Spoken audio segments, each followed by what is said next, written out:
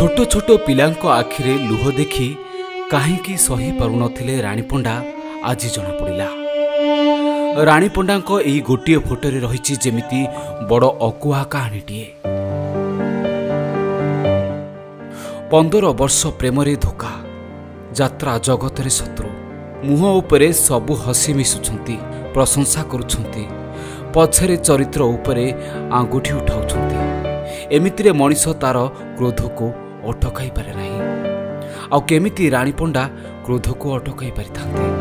ସବୁବେଳେ କଷ୍ଟ ଯନ୍ତ୍ରଣାକୁ ସହି ନ ପାରି ଭାଷା ଅଭାଷାରେ କହିଯାଉଥିଲେ ଆଖିରୁ ଲୁହ ଝରୁଥିଲା ପାଟିରୁ ଚିତ୍କାର ଶୁଭୁଥିଲା। ରାଣୀ ପଣ୍ଡା କ'ଣ ଏତେ ଖରାପ ଝିଅ?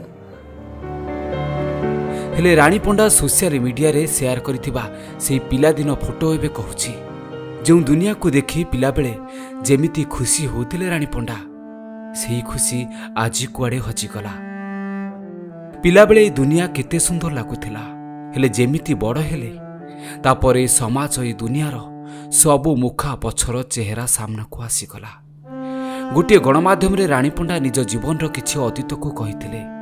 ଯେଉଁ ଖୁସି ଟିକେ ପାଇବା ପାଇଁ ଦୁନିଆରେ ଆଗକୁ ତା ହାତ ଧରି ଚାଲିବା ପାଇଁ ଅନେକ ସ୍ୱପ୍ନ ଦେଖିଥିଲେ ଯେଉଁ ମଣିଷକୁ ନିଜର କରି ପ୍ରେମିକ ଭାବେ ବାଛିଥିଲେ ସେ ମଣିଷ ବି ହାତ ଛାଡ଼ିଦେଲା। ରାଣୀ ପଣ୍ଡା କହିଛନ୍ତି ପ୍ରଥମ ଥର ଯାହାକୁ ସେ ପ୍ରେମ କରିଥିଲେ ଲାଗୁଥିଲା ସାରା ଜୀବନ ସେ ମଣିଷ ତାଙ୍କ ସହିତ ରହିବ। ହେଲେ ପାଞ୍ଚ ବର୍ଷ ପରେ ସେ ହାତ ଛାଡ଼ିଦେଲା।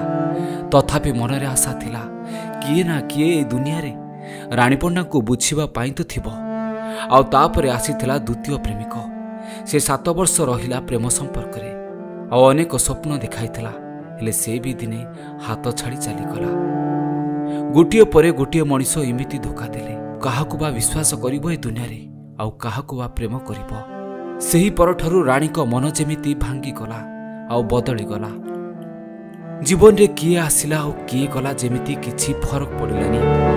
ମନ ଯେମିତି ବୁଝି ସାରିଥିଲା ଏ ସ୍ୱାର୍ଥପର ଦୁନିଆରେ ନିଜ ସ୍ୱାର୍ଥ ପାଇଁ ସବୁ ସମ୍ପର୍କ ମଣିଷମାନେ ଯୋଡ଼ୁଛନ୍ତି ଆଉ ସ୍ୱାର୍ଥ ସରିଗଲା ପରେ ଭାଙ୍ଗି ଦେଉଛନ୍ତି। ଏତେ ଅଣନିଶ୍ୱାସୀ ଜୀବନଟାକୁ ବସି ଭାବିଥିଲେ ଯେମିତି ପିଲାଦିନ କଥା ମନେ ପଡ଼ିଯାଇଥିଲା ରାଣୀ ପଣ୍ଡାଙ୍କର। ଆଉ ବୋଧହୁଏ ସେଥିପାଇଁ କେଉଁଠି ନା କେଉଁ ପିଲାର ଆଖିରେ ଲୁହ ଟିକେ ଦେଖିଲେ ପେଟରେ ଭୋକ ଟିକେ ଦେଖିଲେ ସହିପାରନ୍ତି ନାହିଁ ରାଣୀ ପଣ୍ଡା। ଦୌଡ଼ି ଯାଇ ସାହାଯ୍ୟ କରି ପକାନ୍ତି। ଆଉ ସେହି ପିଲାଦିନକୁ ଆଜି ମନେ ପକାଇ ରାଣୀ ପଣ୍ଡା ଏହି ଫଟୋକୁ ସେୟାର କରିଥିଲେ। ଯାତ୍ରା ଜଗତରୁ ରୋଜଗାର କରୁଥିବା ଅର୍ଥରୁ ଗରିବ ଅସହାୟ ଲୋକଙ୍କୁ ସାହାଯ୍ୟ କରନ୍ତି। ଆଉ ଯେଉଁ ଲୁହ କାହାକୁ ଦେଖାଯାଏନି ସେହି ଲୁହକୁ ବୁଝିପାରନ୍ତି ରାଣୀ ପଣ୍ଡା ଆଉ ପାଖକୁ ଯାଇ ସାହାଯ୍ୟ କରନ୍ତି।